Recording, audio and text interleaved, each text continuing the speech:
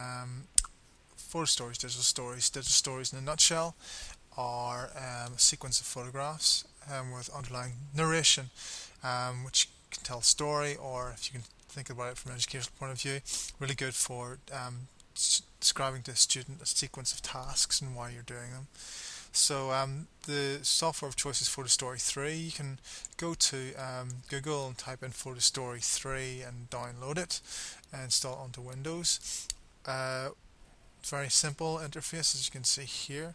To get started you simply go and import the pictures. Now uh, planning is of the essence beforehand. Um, map out a sequence, uh, take the photographs in the workshop, in the kitchen for the context, um, create your script and as you can see here I've actually um, got a series of photographs on actually baking pastry so I'll just bring those in and uh, Photoshop will arrange them um, in sequence.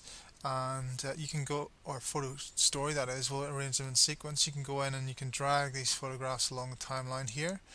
I'm just going to bring that photograph to the front.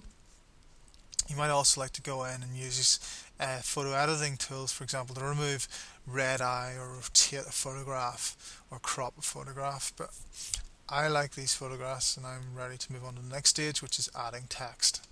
So uh, I'm going to give a title to my digital story um, creating choux pastry. And um, oops. Unlike a word processor you can go in and you can edit this text.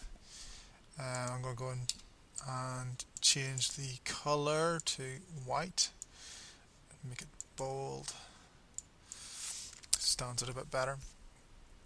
And um, once you've done you can do the similar you put titles for the rest of the photographs. Once you're done you're ready to move on to the next stage which is um, putting a narrative over the photograph.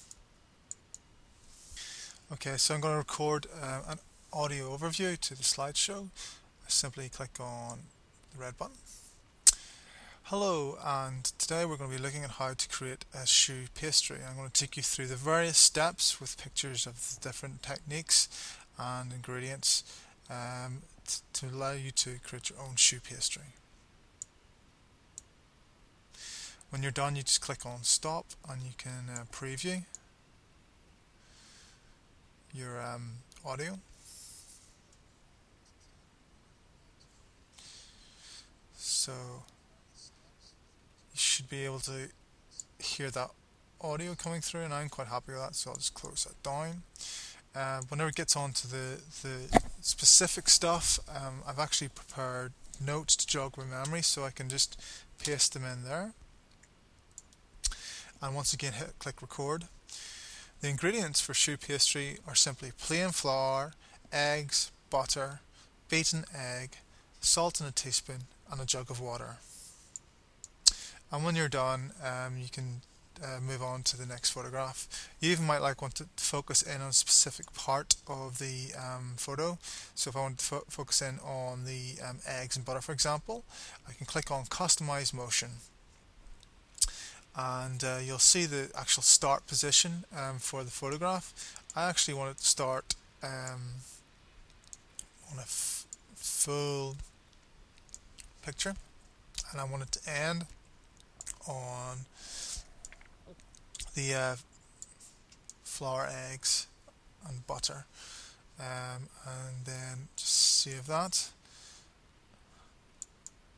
And I can repeat that similar process, um, adding the audio, uh, customizing the motion for all the photographs. Um, this next option allows you to put some background music. I'm not going to put any background music on um, my um, story because um, uh, it's more instructive. Perhaps for a narrative, uh, um, background music would be more suitable, but you can play around with that and see what suits you. Um, but I will save my project now because I've put a lot of work into it. I don't want to lose that, and this means that I can actually come back later and add more photographs and tweak it a wee bit more if I so wish. So I'll just save that in the photo story format WP3 and um, once I'm done I can move on to the next stage. Uh, this is where we actually export it um, as a Windows Media Player file. Um, now I'm going to export it from my computer and it's going to be 640 by 480. Um, similarly I could export it for a um, Pocket PC and it would make it uh, 320 by 240 so you can um, use PhotoStory to export to all the different file formats. You might want your students to be watching the video in the workshop or in the classroom using their mobile phone and that will take the video down to 160 by 120 but I'm going to choose um, for um, uh, the computer and um, I just go next and it's going to compress and uh, change the WP3 PhotoStory format into the Windows Media Player.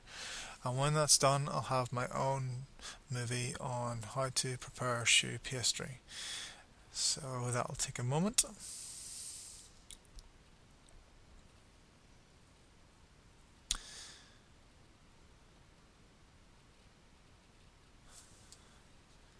And now I can actually go and view um, my uh, masterpiece in uh, Windows Media Player or upload it to my own video blog.